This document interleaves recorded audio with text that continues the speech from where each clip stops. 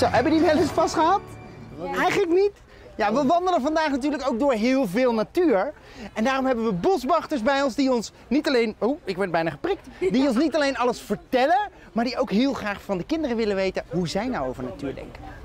Weet je dat eh, de natuur hier heel dichtbij kan zijn? Ik heb hier een heel klein stukje heb ik voorgelopen.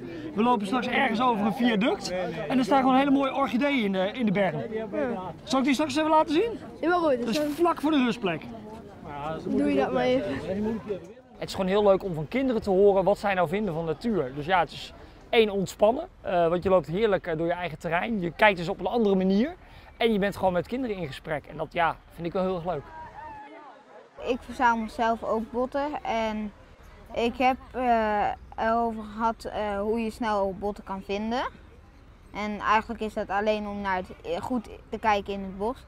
En eh, hij vertelt hoe je botten heel goed schoon kan maken.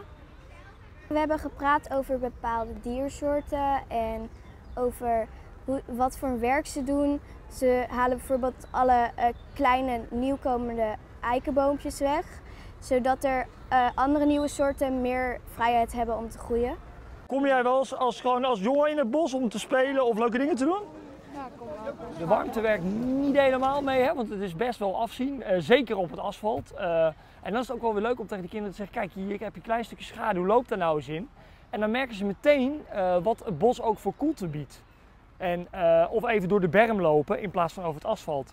Dat het veel minder reflecteert aan warmte. Dus dat zijn met die hele kleine dingen, maar het is wel heel erg leuk om te doen. 1, 2, 3.